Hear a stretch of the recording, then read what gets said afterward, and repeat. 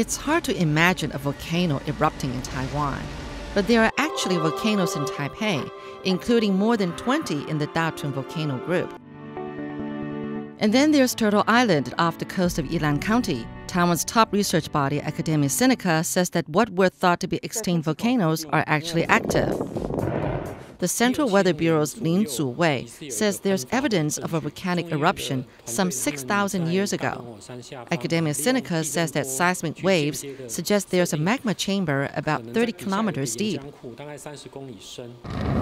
And like a ticking time bomb, the Datun volcanoes could go off at any time. And in their path, some of Taipei's most populated districts, Taiwan's tallest building, Taipei 101, is just 15 kilometers away. Datun volcanoes are considered active. Dormant volcanoes are no longer active. And then there are extinct volcanoes which could still become active. So the Central Weather Bureau has developed a new warning system. A green light means everything's normal. Yellow means that a watch is in effect.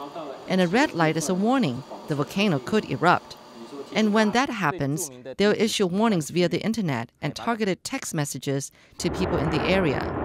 The Central Weather Bureau says the new system will be up and running by the end of the year. Shirley Lin, RTI News.